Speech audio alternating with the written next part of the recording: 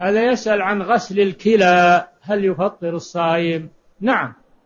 غسيل الكلى يفطر الصائم لأنه يدخل إلى الجوف ماء وأدوية ومنظفات تدخل إلى الجوف فيفطر الصائم بذلك.